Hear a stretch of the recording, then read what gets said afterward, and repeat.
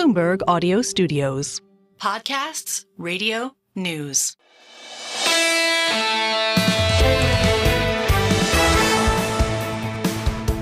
Single best idea. And we say good morning to you. We're taping this right after the show. I come out of the show, and, you know, I mean, you have to fight through the fans and all that. We get into the room, and Eric and I put together a six, seven minute podcast. What is it? It's two ideas out of the show.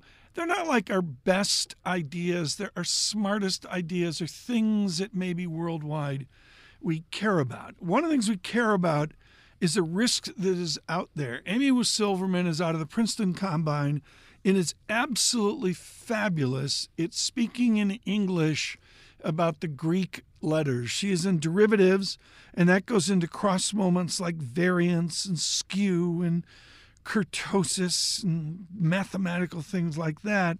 And also into your high school height distribution. Remember in high school, you were studying statistics, and it was like, okay, here's the height of my class, and over on the left were the short people, the left tail, and over on the right were the tall people, the right tail.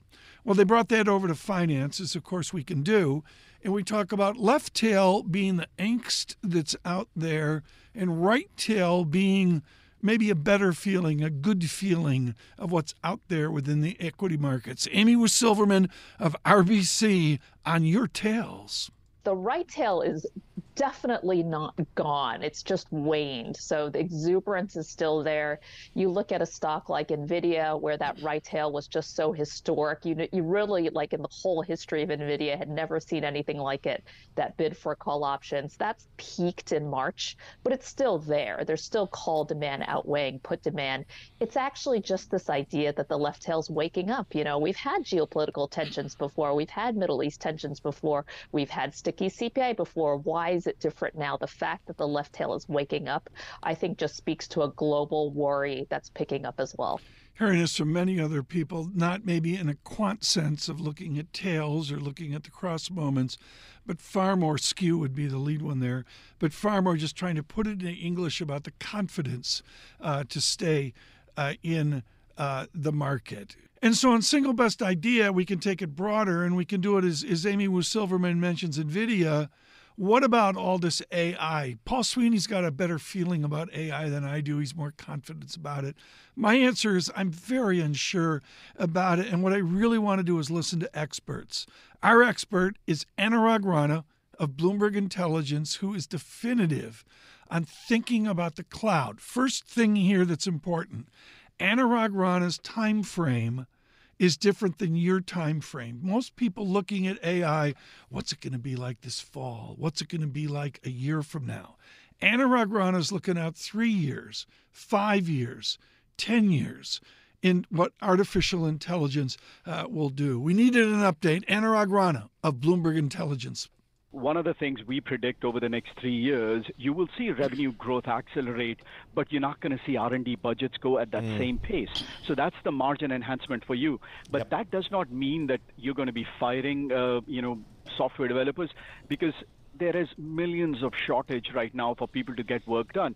I think the real benefit is going to be in modernizing the old applications, which were written in a language that people don't use anymore. So this particular software can convert that into the newer language, which can do more, you know, unique things or digitize your business a lot faster. It's good to talk to Anurag Rana about the comeback round trip, if you will, on Amazon off the pandemic euphoria what a plunge in Amazon and almost back out to uh, where it was, oh, I think it was the end of 22 as well. Some of the roller coasters of artificial uh, intelligence. We're getting ready for earnings season. Netflix this afternoon. Look to Tim Stenovec and uh, Carol Massar. They'll have all of that for you uh, on uh, Bloomberg Radio here in the afternoon. But then we really dive into the beginning of a blended industrial and also the technology earnings that we see at the end of April into, well, May 2nd is Apple, among others, uh, as well. So it's into earnings season to see where we fit in this great bull market. We are on Apple CarPlay. Download the Bloomberg Business app, also out on Google, I should say.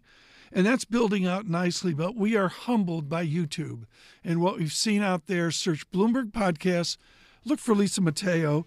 Uh, and we're there. We're there 7 to 10. We're, we're now rolling out the complete show as a digital file, which you'll see later in the morning.